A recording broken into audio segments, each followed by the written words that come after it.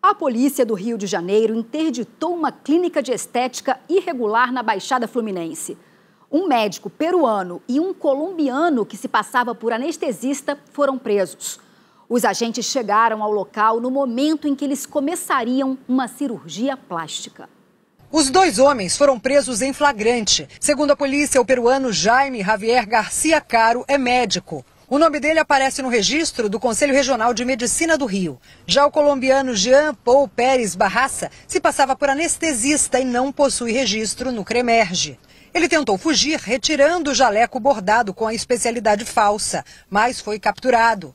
A clínica funcionava de maneira irregular em Nova Iguaçu, na Baixada Fluminense, e foi interditada. Quando os policiais chegaram ao local, uma mulher já estava sedada na mesa de operação à espera de uma lipoaspiração. Ela foi levada para um hospital público onde passou por exames. Na sala ao lado, outra paciente havia acabado de ser submetida ao mesmo tipo de procedimento. Os agentes encontraram ainda medicamentos e anestésicos em uma geladeira, junto à comida dos funcionários. A ação da polícia teve início com o monitoramento de anúncios em redes sociais, onde os suspeitos ofereciam procedimentos de alta complexidade por preços abaixo do valor. Durante a investigação, os policiais descobriram que a clínica funcionava em um endereço que já havia sido interditado no ano passado, quando foram encontrados aqui no local materiais hospitalares impróprios para o uso. Na época, o espaço tinha outro nome, uma estratégia do grupo para continuar atuando ilegalmente. Essa clínica sofreu uma série de, de, interdição, de interdições e, em razão disso, eles foram trocando o nome, trocando a, o, os sócios. Jaime e Jean vão responder por associação criminosa, exercício ilegal da medicina e por executar serviço de alto grau de periculosidade. Nós tentamos contato com a defesa dos presos, mas não tivemos retorno. Este jornalista foi surpreendido ao ouvir uma mensagem com a própria voz. E eu comecei a escutar várias vezes para ver as semelhanças e realmente muito parecido com a minha voz. Quem também foi pega de surpresa foi a mãe dele, ao receber um áudio com um pedido de Pix de quase dois mil reais. É, porque não vou conseguir ir no banco hoje, mãe, não vai dar tempo. Mas amanhã cedo já resolvo e te mando. Eu digo que praticamente era igual o jeito que ele falava comigo, né? Mas achei muito estranho porque ele geralmente não me pede dinheiro. Desconfiada, ela compartilhou o caso com a filha. Elas conseguiram contato com o Felipe, que negou o pedido de ajuda e registrou um boletim de ocorrência. O golpe que clona a voz de uma pessoa é produzido com inteligência artificial que usa pequenos trechos de áudio para criar diálogos inteiros. Os programas são facilmente encontrados na internet. Especialistas em informática afirmam que, por enquanto, as principais vítimas do golpe são pessoas que têm a voz exposta publicamente, como jornalistas e artistas, e também quem está na vitrine das redes sociais, como os influenciadores. A mãe de Nathan recebeu o áudio enquanto falava com o filho. Eu sabia nem que era possível fazer isso. Achei que só com, sei lá, cantor era possível fazer. Para não cair na armadilha, este professor do Instituto de Informática da Universidade Federal do Rio Grande do Sul recomenda criar uma palavra-chave para pedidos de empréstimo. Um termo aleatório e conhecido apenas por parentes. Assim, mesmo que venha por áudio, talvez tenha um momento de parar assim com mais tranquilidade para prestar atenção no que está sendo pedido. De janeiro a outubro deste ano, uma denúncia de violência contra a mulher foi registrada a cada seis minutos pelo Disque 100 no país. A disparada de casos acendeu o alerta de autoridades. Para o Ministério Público, uma das explicações está no maior encorajamento das vítimas para prestar queixa. Eu conversei com duas delas e os relatos você acompanha agora. Câmeras de segurança gravaram a briga no meio da rua. O homem joga a mulher no chão e chuta a cabeça dela. A mãe da jovem consegue afastar o agressor, que volta em seguida. A vítima é agredida mais uma vez. Repare, uma menina de 7 anos assiste a mãe ser espancada. Eu pensava que eu ia morrer na hora, por, por conta que ele pegou a pedra primeiro, acertou um carro e toda vez que ele conseguia se aproximar de mim, eu, eu voava longe. Antes de ser preso, Alifer Rodrigues agrediu outras vítimas. Catiane, que morou com ele durante cinco meses, conta que decidiu acabar o relacionamento após descobrir traições. Eu fiquei escondida na casa dos meus pais três dias, né? E quando eu voltei para minha casa para pegar algumas roupas, ele estava dormindo dentro do meu quarto. Nessa eu fui, ele estava dormindo, eu fui bem caladinha para o banheiro, me tranquei. Aí ele já mexeu a porta do banheiro e começou a agressão, né? O número de denúncias de violência física contra mulheres no Brasil cresceu quase 24% nos dez primeiros meses desse ano, em comparação ao mesmo período do ano passado, segundo a Ouvidoria Nacional dos Direitos Humanos. Em média, foram 210 denúncias de violência doméstica por dia no país.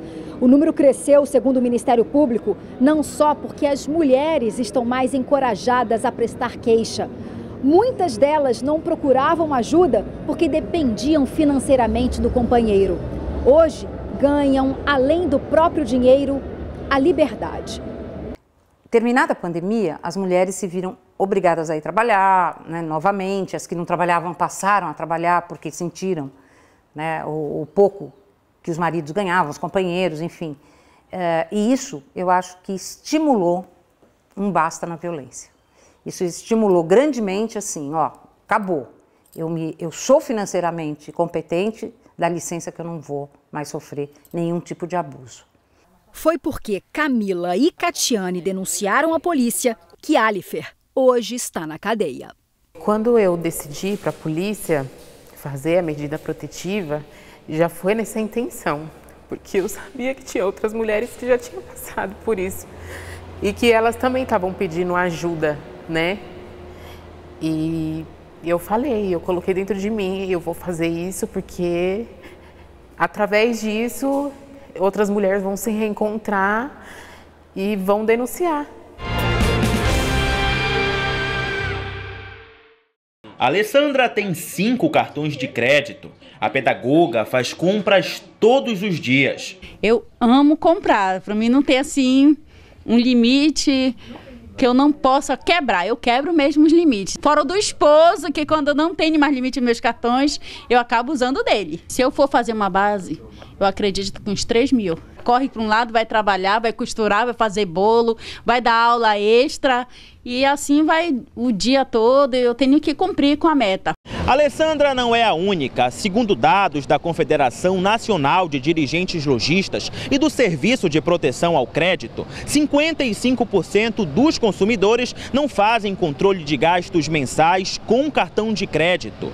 80% deles nem sequer sabem a taxa de juros cobrada por mês. Ainda de acordo com o estudo, roupas, calçados e acessórios, remédios e itens de supermercado estão entre as principais compras no crédito. 88% deles afirmam que possuem mais de um cartão. E a principal justificativa é justamente para aumentar o seu limite de crédito. E dentre as vantagens do uso de cartão, uh, os entrevistados destacam a possibilidade de parcelamento fácil e também um prazo maior para pagar suas despesas. Mas a falta de controle pode se tornar um grande problema. 29% dos usuários de cartão de crédito já ficaram negativados pela falta de pagamentos de faturas. E esse especialista em finanças alerta. Planejamento financeiro é fundamental. É perceber que esse crédito não é teu e sabendo que tu não pode gastar mais do que tu ganha, né? Então esse é o segundo, o primeiro ponto. O segundo ponto é entender seu consumo. Então, Entendendo o seu consumo, como é que eu vou gastar algo que eu não preciso? É o caso do Charles. Anota todos os gastos. Cada movimentação é lançada em planilhas. Eu tinha aquela preocupação de todo tempo estar no vermelho e como sair disso daí. Hoje ele tem eu consumo bem menos e tenho controle principalmente dos limites e não tento exceder aquilo que vai comprometer mais o meu salário. Batata, beterraba, cebola, giló e tomate. Alimentos que vão para o lixo. Ah, essas caixas são todas de perda, tá vendo? Tudo perdido. O relato é de um feirante de São Paulo que mostra o resultado do calor extremo nas caixas de verduras. De dia, sol quente. À tarde, chuva. Queima tudo e não cresce, ó, fica pequeno. Segundo a CEAGESP, Companhia de Entrepostos e Armazéns Gerais de São Paulo, o mês de novembro já apresenta uma alta de 12% no valor das hortaliças em relação ao mês de outubro, realidade já sentida na ponta. Tá difícil compra, nós comprar no Ceasa, tá muito caro. Eu percebo que calor acaba murchando um pouco as frutas, verduras, legumes e um pouco de aumento sim.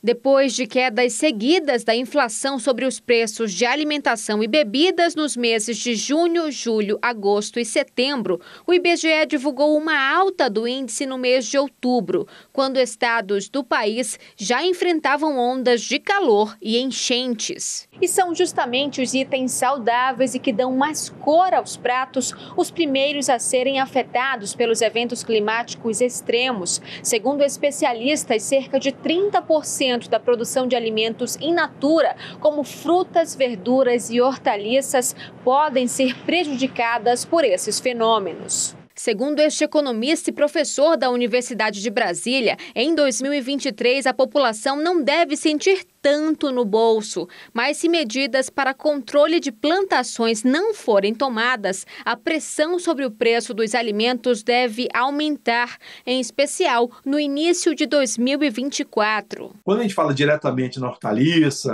no, é, é, é, a gente vai falar dos insumos para alimentação animal, por exemplo, né?